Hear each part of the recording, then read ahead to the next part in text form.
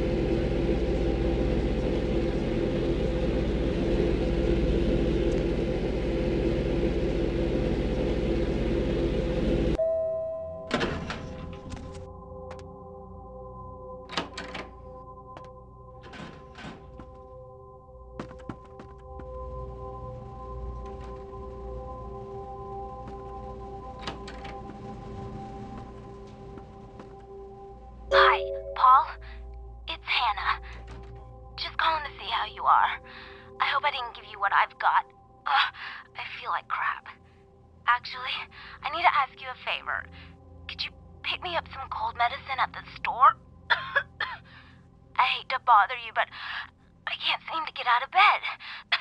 The code on my door is 1203. Hey, listen, I, uh, had a really good time the other night. Maybe we could do it again sometime. Sorry, I'm rambling. Okay, bye.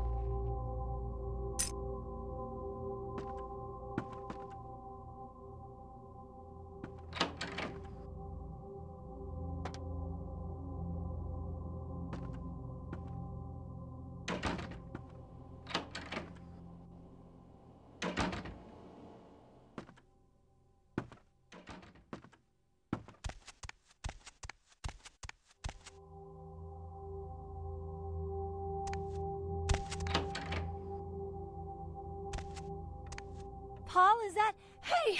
You're not Paul! Who are you? What are you doing in here?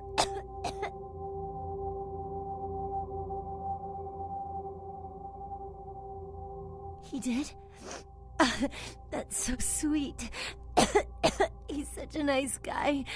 Is everything okay with him?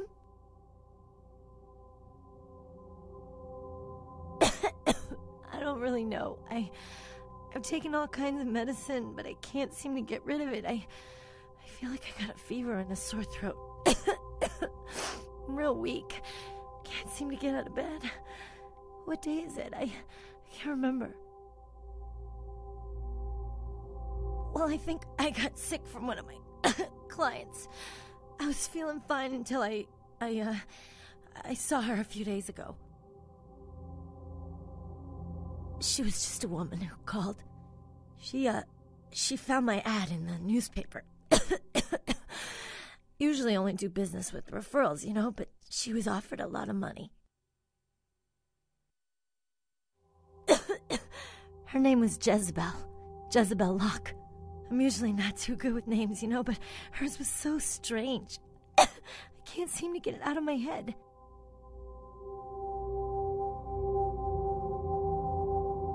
Yeah, I mean, I think so. to tell you the truth, I don't really remember a whole lot about that night, you know. Everything's a little blurry, you know. I mean, I'm not usually, you know, into women, but I remember feeling so attracted to her. I thought she was the most beautiful woman I'd ever seen. well, the next thing that's clear is when I woke up the next morning. I haven't been feeling too well since then. To tell you the truth, I have other friends who've who've uh, worked with her, and they're not doing so hot either. You know.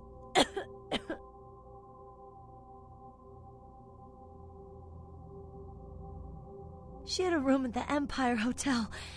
I can't remember the number. hey, are you sure that Paul's okay? He's not sick, is he?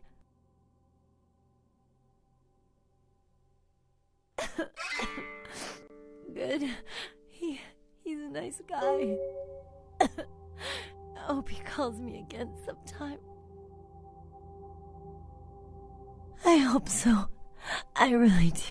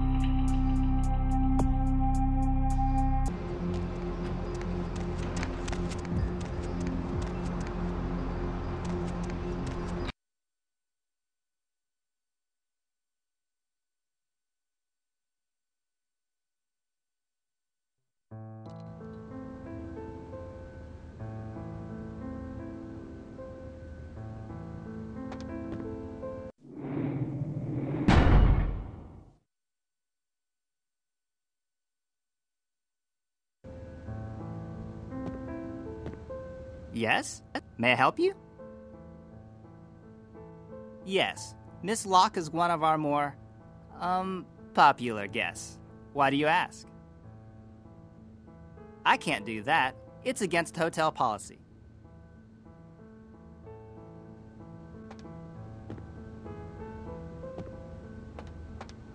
Sorry, ma'am.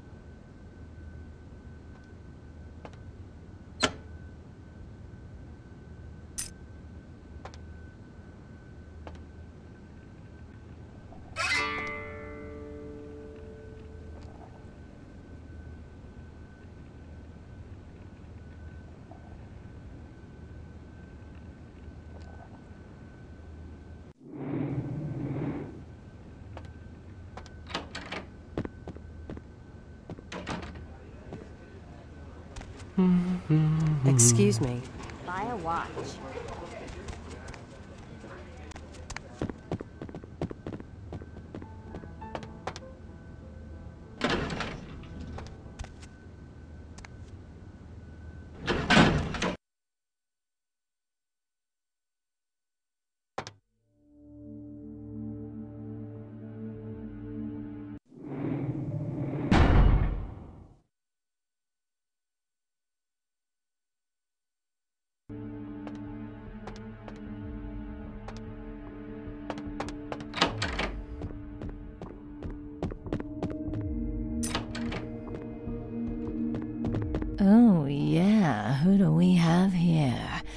Are you a believer, little morsel?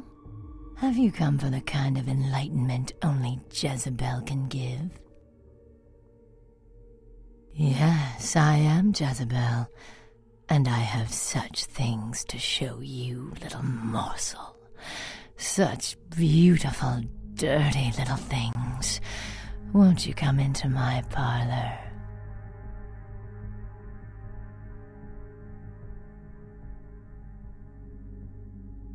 Oh, you cannot escape me, little morsel. One way or another, you and I will intertwine our beings on the way into the ninth circle, and I will send you forth, full of the sweet sickness I carry.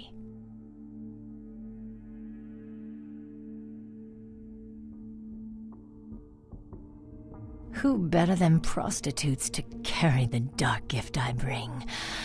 Ah, will they not share it with the rest of those who revel in the pleasures of the flesh?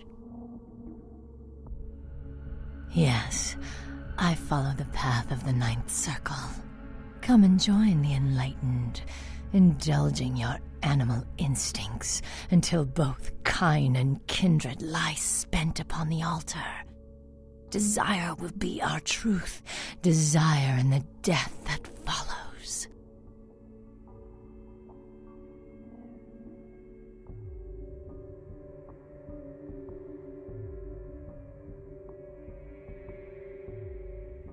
I cannot control my hunger any longer.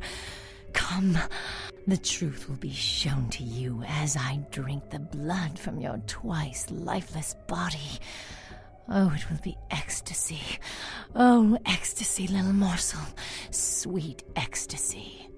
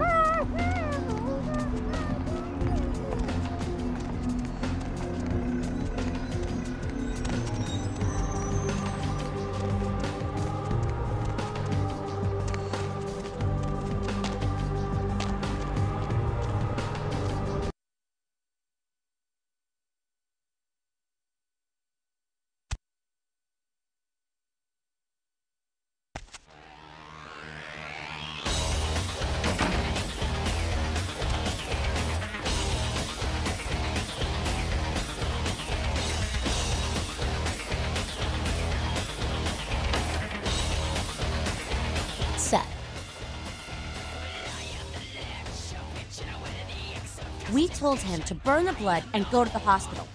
Said he thought he'd get over it. Men are stubborn that way. This proves the plague bearer's gotta be found. Yeah, I've seen this. Pretty sure I've seen it around here somewhere. One of the buildings, I think. goddamn Kins. You guys are all the same.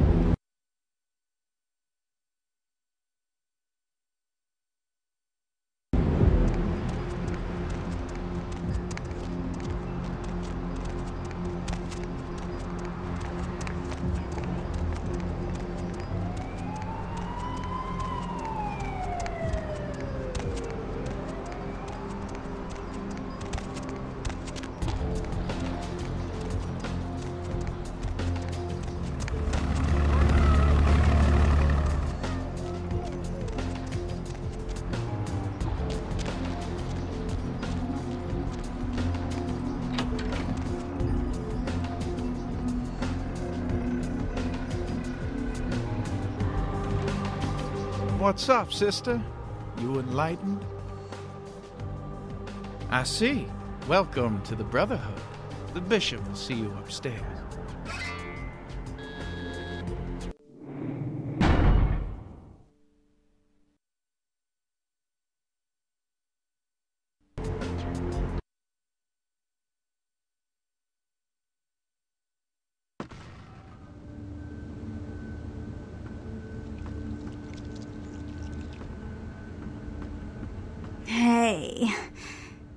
Did, you get summoned? You're going up upstairs to see the bishop. You're n- new to the Brotherhood, huh? Just got enlightened. I I've been here a few days. when the bishop wants to see you, you'll be summoned, and then you go up these um these stairs up to the the t- temple.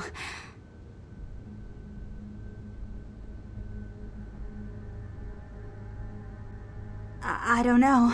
I mean, I, I hear things, but but I haven't been summoned. I had a friend snuck up there a few days ago. Said she saw things, bad, bad things.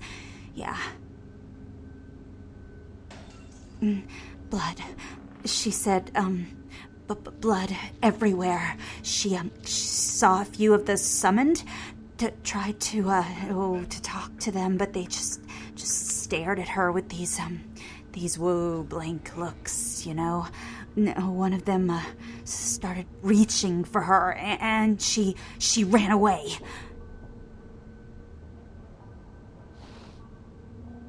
Yeah, yeah. I know. The b- bishop said we have to shed our um our uh, our earthly f- fears on our journey to the to the ninth circle. But I'm I'm scared to go upstairs. I I just uh, I just I just want to go home. You know, I want to go home.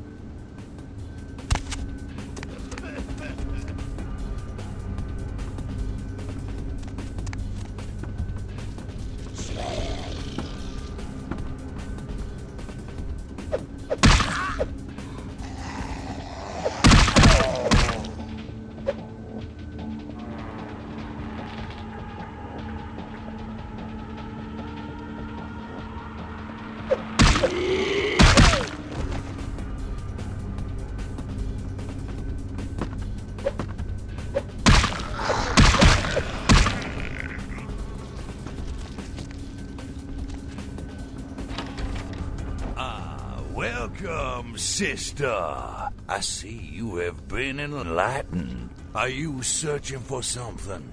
Do you seek the truth? Well, you have come to the right place, sister. We've got more truth here than we can handle. yeah.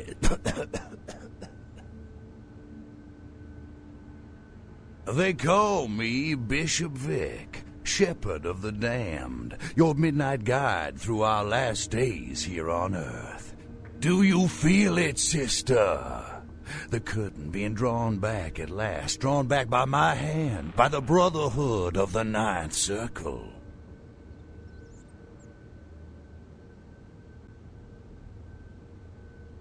Gehenna, Judgment Day,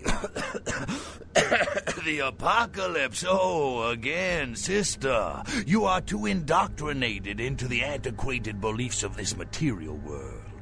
There is no rhyme or reason, no all powerful and terrible gods who watch over their children.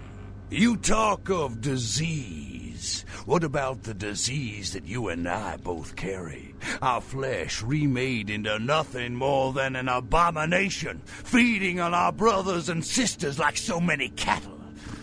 What god watched over me when that demon tore into my neck and made me into this monster you see before you? No, sister.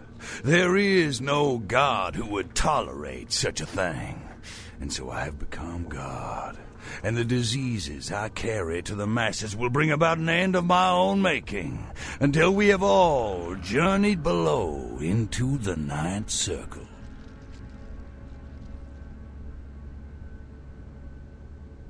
The time for words has come and gone, my sister. You and I will take those last steps together and see what truth lies behind the curtain. Let the night fall forever on this cursed earth, and let the fruits of my labor bring a long and bloody harvest.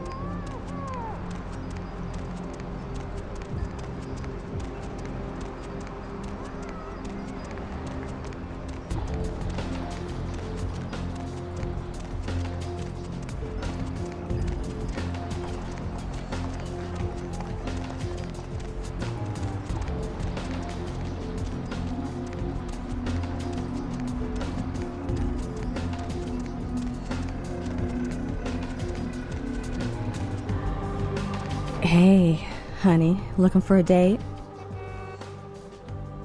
Ooh, I don't get to do women often, mm, especially ones as cute as you, sugar. Tell you what, how's 40 sound? Well, for you only. Don't go telling any of her friends about this. The girl's gotta make a living and all. Mm, let's go somewhere more intimate. You lead the way.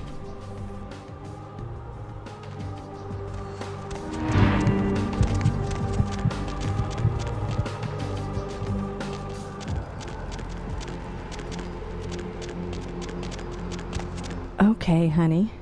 Let's see what you got.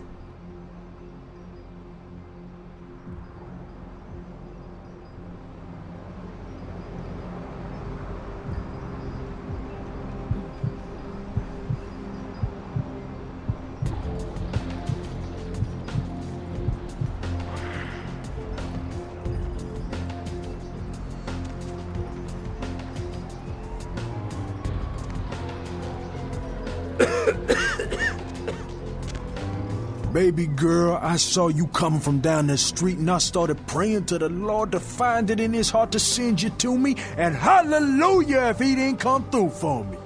Welcome to Fat Larry's Trucker Man. I am the proprietor and salesman of the month several years in a row. The ladies call me, oh God, but you can call me Fat Larry with a F-A-T, cause there's more of me to love. Now, that is a legitimate question, but a better question to be, what don't I got in this truck? Cause at Fat Larry's, my motto is, everything's got a price, but I probably know somebody who can get it anyway.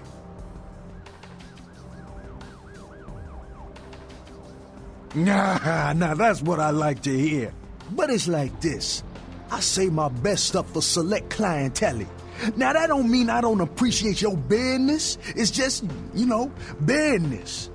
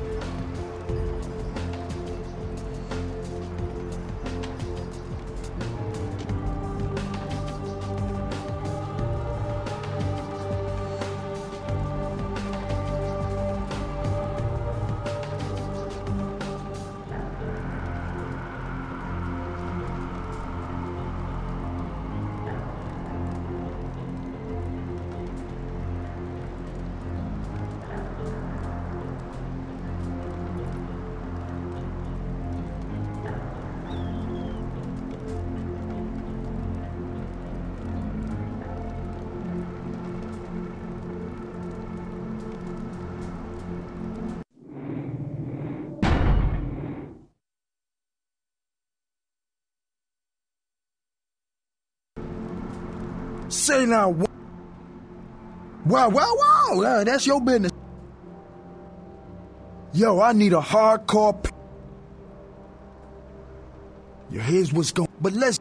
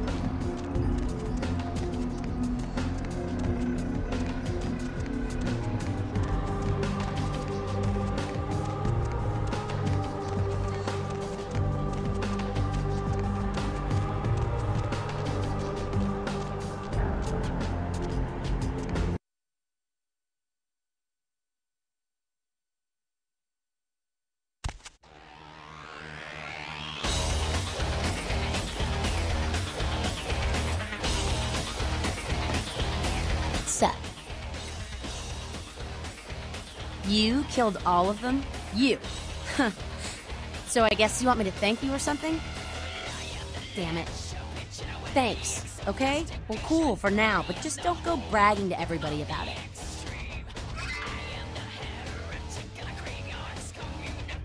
Righteous. You know, you just may have an anarch soul. I'll let you chew on that, Cammy. Some of the boys might have overheard our conversation and gotten the impression I've gone soft. Somebody in this joint's gotta lack the restraint to keep their mouth shut. Heard that.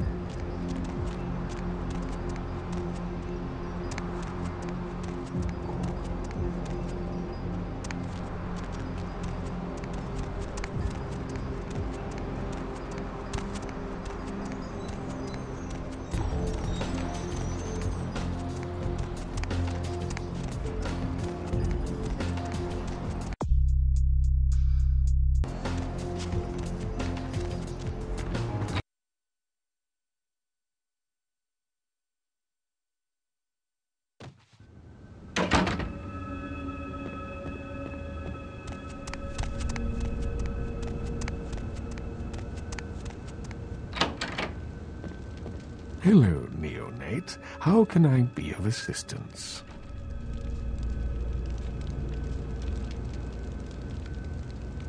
Of course. You have? Impressive, young one. What exactly was the source of the epidemic?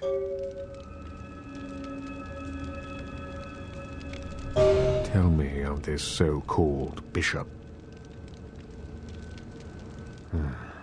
See. That end may very well be upon us. But to business. I have a debt to pay you for your services. If you so desire, I can give to you a unique talisman that might be of use in the future. If that does not interest you, I can compensate you with hard currency. You decide.